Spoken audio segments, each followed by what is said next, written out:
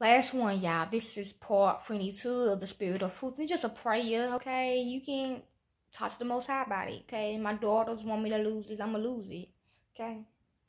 Prayer to the Spirit of Truth. I mean, people tell me it breaks, okay? It makes sense to them, okay? Pray to the Spirit of Truth. Even to the babies, the kids even understand this shit.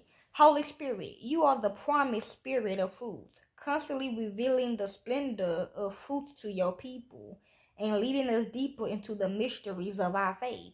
See? Well, this is, I did write this, but still. Come to us today and deepen in our minds and hearts the truth our life. Its greatness, its dignity, its reflection of the eternal God, the real one, makes us appreciate ever more the truth that life is always a good and that every life is of equal dignity. Despite all the different characteristics people have or the different circumstances under which they come to be.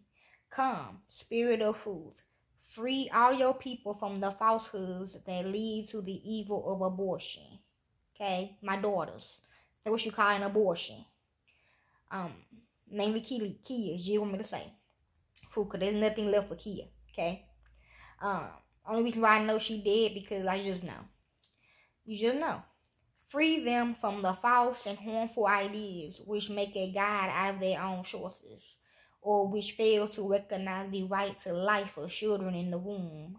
Come, O Holy Spirit, and as you immerse us in your truth, so make us effective witness, witnesses of the truth within our families, among our friends, and to all the world.